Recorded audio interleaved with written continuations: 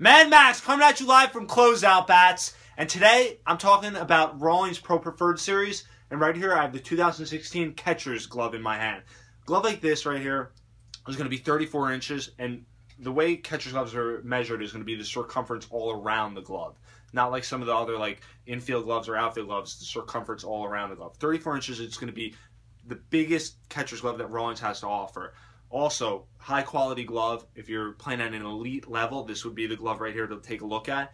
It's also going to have U.S. made laces in, with this glove, which are going to be tested for support and structure. Rawlings is going to make this glove last. When you're paying top dollar for a glove like this, it's going to last multiple years. When you're talking Pro Preferred Series, it's a glove that is five to ten years going to be in your bag as long as proper care is met and you're taking care of the glove, obviously. It's also going to have sheepskin lining underneath this Rawlings symbol right here, which is also going to give it the comfort and support, overall better feeling as well.